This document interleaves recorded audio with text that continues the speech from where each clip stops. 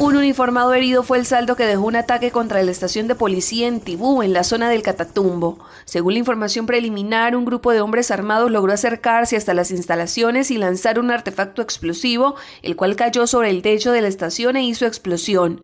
La onda explosiva destruyó parte de la estructura y le causó afectaciones a un policía que en el momento se encontraba dentro del lugar, causándole graves afectaciones. En este mismo hecho, dos uniformados más resultaron con aturdimiento subversivos al parecer del GAOR 33, violando todos los derechos humanos y el derecho internacional humanitario, vestidos de civil, con armas de fuego, entraron en las casas de los vecinos de la estación de policía, los intimidaron y empezaron a avanzar dentro de las casas y patios de la comunidad. Desde allí lanzaron un artefacto explosivo contra la estación, la cual causó algunos daños y nos dejó herido un policía. Las autoridades ofrecieron una recompensa de hasta 50 millones de pesos por información que permita dar con los responsables del hecho de violencia.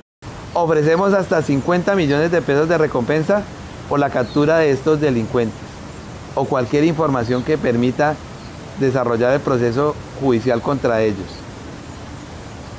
En el último tiempo hemos capturado 14 terroristas en Tibú, en su casco urbano. Hemos destruido varios laboratorios de, cocaína, hemos encontrado cerca de 27 artefactos explosivos que habían colocado contra la comunidad de Tibú y su, y su infraestructura. Las autoridades siempre han sido enfáticas en señalar que estas acciones son cometidas por parte de organizaciones armadas como una retaliación ante los constantes golpes propinados por parte de la fuerza pública en contra de sus estructuras.